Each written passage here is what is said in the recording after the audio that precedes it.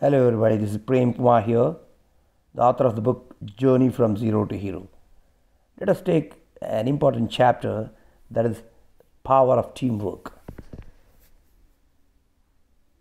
Kannada poet D.V. Gundappa, in his book Mankuthimmana Kagga, says, Old strong roots with new leaves on the tree are beautiful. New knowledge and old proverbs are good. If olden days Rishi's thinking and new generation science and technology, if they go hand in hand, then our life will be heaven.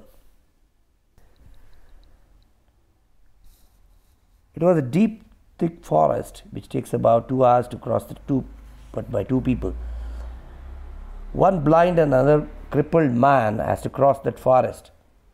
It was late in the evening and they were worried. A passerby noticed them and suggested that a crippled man be carried by the blind man. This way, the strength of each person is maximized. They teamed up. The blind man carried the crippled man on his shoulders. Crippled man directed the blind the route to proceed. Both of them crossed the forest before the nightfall. If they had tried to cross the forest individually, it would have become even more time. They would also probably be a prey to wild animals in the forest. Masters, this is the strength of teamwork. The crippled and the blind realize their goals by helping each other. When we help each other, we have to use our creativity so we can bring about real transformation in